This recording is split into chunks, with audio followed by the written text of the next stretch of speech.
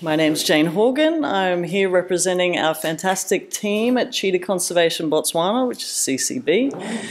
And I just wanted to have a disclaimer straight up off the bat. We are Cheetah Conservation Botswana, but if you see photos of leopards or wild dogs, it's not because my predator ID is terrible.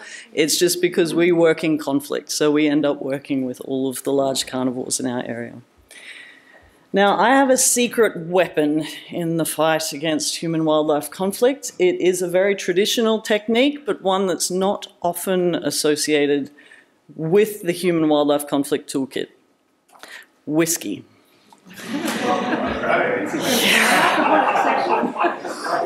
the best session ever. Now, granted, for some farmers, tea and biscuits also works quite well, but I personally tend to work with the Afrikaner farmers, and for them, you need something a little stronger than tea, stronger than your beer as well, Graham. I'm sorry.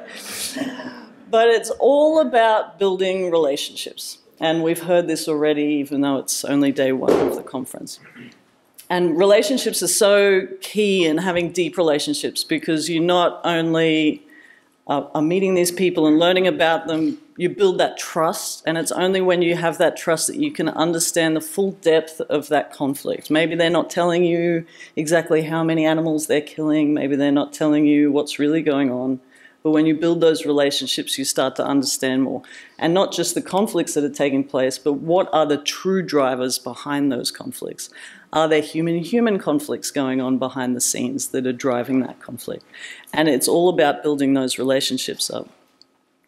Now, I was in Botswana last year at a party with a whiskey, of course, and a classic scenario started to unfold with the farmers that I was there with. And one of the farmers uh, piped up, of course, just when I'm starting to get in my rhythm and starting to relax. He says, Ah, Jane, I've got these wild dogs on my farm. They're killing my calves. You must come and take them off, or I'm going to shoot them. Classic story that I hear all the time, usually on my weekends. And I was just about to open my mouth to, you know, start my spiel, well practiced over 14 years of doing this stuff when the farmer standing next to me steals the words straight out of my mouth. And he says, Oh, you know what you know what I do? I have one breeding season a year, and I synchronize the breeding season so that it, my calves are born at the same time as the kudu, the local antelope, so that when the carnivores are moving around, they eat the antelope instead of the calves. It's worked great for me. I have hardly had any losses since then. I nearly dropped my whiskey. And it took me a while to realize why it was such a wonderful moment. And it was because, you know, we can come in as NGOs and harp on about this stuff and, and intervene all the time. But really, what we're trying to achieve is exactly that. We want to find solutions that are effective enough, cost efficient, that suit the local context, things that work so well that they gain this, their own momentum within the communities and they spread like wildfire. That's exactly what we're trying to achieve. And I'm here today to tell you very briefly some of the techniques we use in our holistic approach to conservation to achieve that kind of behavioral change.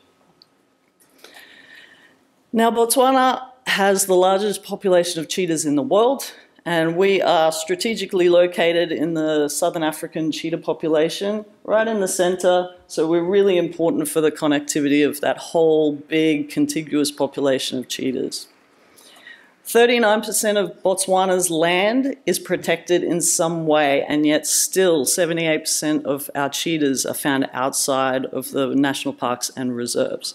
So because of that, obviously, we have a lot of conflict. Now, we focus our attention in the Ghanzi district of Botswana, which is that central west district there. And the reason we're there is because that's where there is the highest levels of conflict in the entire country. Now, there's lots of different land uses in this area. There are a lot of different types of farming and a lot of different cultural groups. And we tailor our solutions for each of those specific contexts. But there is one technique that we've been using that works across all of them, and that is livestock guarding dogs, or LGDs. Now, David mentioned them earlier in his talk. Great representation. Livestock guarding dogs are absolutely amazing. In our program, we specifically promote the use of the local landrace mixed breed dog, which we refer to as the Swana dogs. And these Swana dogs are absolutely fantastic. We were promoting them initially. We now run a training and placement program. And we take unwanted puppies from shelters across the country and from communities.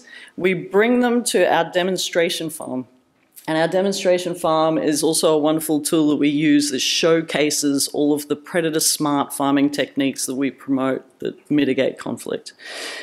And at the demonstration farm, these puppies go with the goats and sheep and bond with them and they learn from the adult livestock guarding dogs that we have there at the demo farm. And once they're four, four to six months of age, after they've received all their initial vaccinations, they get sterilized, they then get placed with the farmers that are having conflict. And these dogs are incredibly effective and they elicit smiles like this. This is Naomi Turumba. She is a single mum with three kids uh, living in Chobokwane, and she had massive problems with her goats getting taken by cheetahs and jackals. And her herd got diminished almost to nothing. It was, she usually went out and herded her, her herd, but then when she needed to stay home with her kids, that's when the goats were getting taken. So we gave Naomi two livestock guarding dogs, and you can see how few goats were left there by the time that we gave her those dogs and it completely changed everything for her. Her herd grew so much after that that she was able to uh, build a house for her and her kids and install electricity in that house with the money that she raised from that farm. So these dogs are absolutely changing lives. And so far, we've placed over 200 dogs in this Ghanzi area. And the waiting list for these dogs is was very large. We scaled up a couple of years ago and started creating puppy franchises. So this has been a alternative livelihood for some of our model farmers. And we take we pay them for every livestock guarding dog that they train, and then the dog is still ours as part of our program and is placed. Uh, and that has helped us to scale up hugely. It's also been really important for quarantine purposes. Last year, our entire demonstration farm had to be shut down because of a nationwide parvovirus outbreak. And we lost 20 puppies at our farm, at our demonstration farm, but thankfully the model farms, our puppy franchises, weren't as badly affected. So it's thanks to them we were actually able to still place some livestock guarding dog puppies last year. And I forgot to mention kind of a key point. These dogs, the Swana dogs, so we did, I did my master's research on dogs that had been tra sourced, trained and placed by the farmers themselves. They reduced livestock losses to zero in about 50% of cases. We then did the same research on the dogs that we trained and placed from our demonstration farm, and they reduced conflict to zero in at least 85% of cases. So we measure it every single year, and it's minimum 85%. Sometimes 95% of those farmers have losses down to zero, which is just fantastic. So in this Ghanzi district, lots of different land use types, lots of different farming types, and we tailor our solutions. So I'm just going to give you a quick rapid fire of what is working for us in the different areas. So on the commercial farmlands, these are fenced ranch lands, large fenced ranch lands that are largely dominated by Afrikaner farmers. They are usually South African or European descent, but some of them are third generation Botswana. These guys, the main challenge is that they have very high levels of conflict with all species, and they uh, end up killing quite a lot of carnivores because of conflict. We had one farmer killed 22 lions in one month alone. They really respond well to our rapid response units. They like someone to respond really quickly when they have conflict issues and get to the farm. They also love technology. So the camera traps help inform what's going on and where it's going on on their farm, helps them adapt their management. They're much more managed, these farms, than the communal farms in Botswana. We've tried tracking technology in the form of collars on livestock. We are currently trialling uh, tracking ear tags as well for cattle. And the farmers love translocations, but they don't work, at least for us. Uh, so we, our research found that 82% of the cheetahs that we translocated were dead within a year. And the conflict on the source farms did not abate three months after the translocation. They were back up to the same levels as prior. So we don't conduct tra translocations anymore. Also whiskey. Don't forget the whiskey, very important. Um, so on the communal farmlands, this is where the, the landscape is shared and the grazing is shared. Uh, this is areas that are dominated by Kalahari local Botswana farmers, some commercial but mostly subsistence level farmers. In these areas, and you can see in this photo, you know, you have the tragedy of the commons when it comes to grazing. Overgrazing is a huge issue, conflict is an issue. And with these farmers, the things that they really respond well to is farmers farmer workshops. In these communities, we do residential workshops at our education centre, also go out to communities and do mobile workshops. And in these workshops, we talk about all of the predator smart farming techniques, also predator and carcass IDs to try to reduce the gap between the perceived conflict and the actual conflict that's going on. And the demo farm plays a huge role in those farmers' workshops. We also tailor the workshops to issues that are happening at the time. This was a workshop that we did on um, supplement feed for cattle and other livestock that they can feed to their livestock in the dry season, which our research has shown is when the conflict is spiking. And then when you move into the wildlife management areas, it's a completely different story altogether. So the wildlife management areas in Botswana are dual purpose, semi-protected lands that are largely for wildlife, but then have communities dotted through them that are allowed livestock within a 20 kilometre radius of those villages. And so it's a really interesting dynamic. It's dominated largely by the cultural group, the San, the Kalahari San Bushmen. And farming isn't really a huge priority in the San communities. They're not really interested in farming. The government tries to give them livestock as poverty alleviation schemes, but it, they're not passionate about it. They would much rather focus on connecting with their traditional culture. And when we looked at these communities, we tried to do some of our previous farming work in these communities and it just did not work. So we completely had to change tack. And this is when we started our Communities for Conservation program and we started looking at alternative livelihoods. So for them, it all came from them. What were their priorities? What were their goals? And the community said that they would love to do more ecotourism, more cultural tourism. Um, and also look at wildlife-based economies, like Graham has been talking about, um, to try to increase those benefits from wildlife. Interesting in, in this area, the Kalahari San have some amazing plant-based traditional medicines. This is their bestseller. It's effectively Bushman Viagra.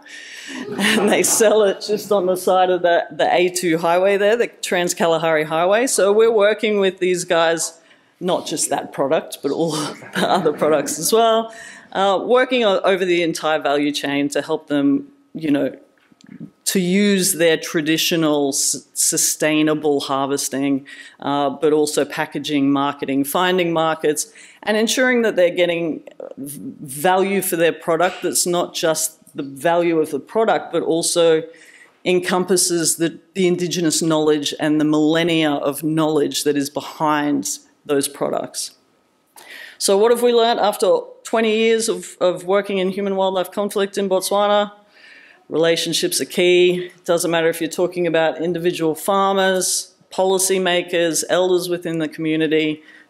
Deep relationships are so important. And in any company or business, you know, holding on to staff is important, but it's, and treating staff well is so vital, but when you're talking about conflict work, it's even more important. You can't have a high turnover of staff when you're dealing with people, when you're dealing with communities on the ground that might be a bit volatile. You need people that are hanging around for a long period of time. Be strategic. Resources, we all know, are so, so scarce make partnerships where you can. We're partnering with some great universities, partnering with other NGOs to help get big grants. Uh, we're currently devising a strategy where we're partnering with environmental consultancies, I work part-time with CCB and also part-time with an environmental consultancy in Australia called EcoShore, who are now looking to source funds and resources to help fill gaps on the ground that CCB can't do on their own. And so looking at things like that that can help achieve the mandates that we need to get achieved on the ground. And the great thing we've found is that coexistence is absolutely possible. So our impacts that we've found is that the cheetah populations in Botswana are stable despite crashes worldwide, despite crashes in neighbouring countries like Zimbabwe. The uptake of predator smart farming techniques is going up, especially livestock guarding dogs, which is wonderful to see.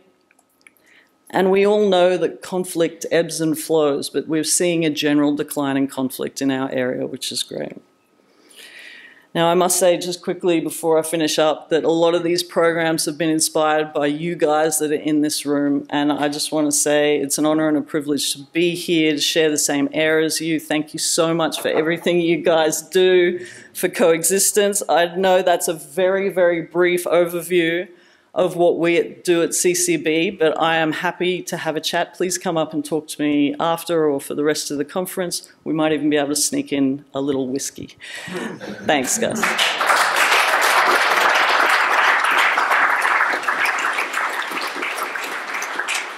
Okay, a few quick questions for Jane. Yes. Uh, yeah, so. Thanks. Um, thanks for the talk. Uh, so the reason I'm asking this is not to put you into the spotlight, but because I was researching on the topic of uh, guard animals, and I couldn't myself answer two potential weaknesses for the guard dogs. So the first one is, uh, don't you fear that uh, once a farmer has a bond with the dog and the dog might get killed defending the livestock, uh, that killing might itself trigger a retaliatory killing? Oh, that's a very good question. Um, yeah, it's interesting with the Swana dogs. Um, you know, David mentioned the Namibian project. There's also projects in South Africa that use the Anatolian Shepherd dogs, and they're a purebred traditional livestock guarding dog breed from Turkey. Uh, there are lots of other livestock guarding dog breeds, but the Anatolians um, have a tendency of being quite aggressive, and there's been a lot of recorded interactions between them and especially leopards and, and stuff like that. The Swana dogs are a much smaller dog. Uh, the average size dog in my study was like 17 kilograms. They're a real quite a small dog, which is surprising. You'd think you kind of need a big, scary dog to be able to do this work. But they're because of that size, and they're generally a lot more timid. Um, they don't tend to get into physical altercations as much as sort of what we haven't done any specific research looking or tracking these dogs. Um, but from the anecdotal evidence that we get from the farmers, that seems to be what happens. They'll, they will herd the livestock if there's a threat. They will bark and try to scare it away. And usually just that interruption of the hunting sequence, especially for like your cheetahs and stuff that rely on stealth, that's enough to deter the carnivore from trying to attack. Thank you. Any other questions? Yes, uh, thank you for that. Uh, I just, I'm just wondering, like, do you think there can be like a potential negative impact of having too many dogs? Yeah, I mean, we all like it's it's kind of a bit of a paradox because we effectively use street dogs, so it's a bit confusing. But we, uh, all of our dogs have all of the required veterinary medicine that they need throughout their lives, and we make sure we provide that for free when we place a dog. So they get all of their annual vaccinations, they're sterilized, uh, so there's no sexually transmitted diseases within that. And we provide livestock guarding dog clinics around the country as well. So far, we've sterilized, I think it's 440 uh, livestock guarding dogs around the country. Uh, at the moment, we're working with EcoShore, my other company from Australia, to see if we can roll out some dog clinics in the district uh, to vaccinate and sterilise dogs in the area because of that parvovirus threat that's currently a problem and impacting our livestock guarding dog program.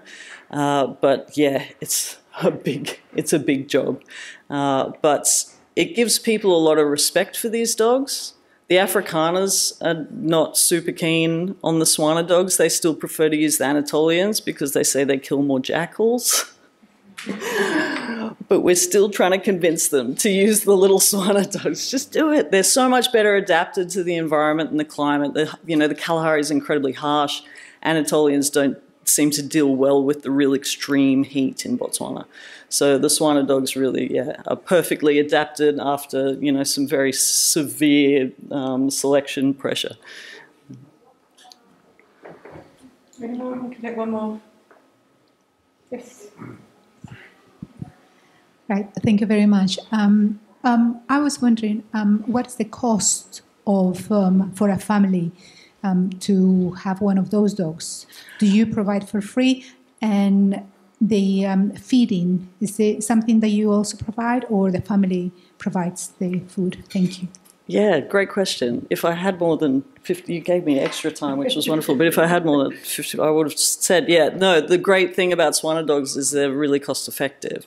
So they cost about a fifth of what an Anatolian Shepherd would cost.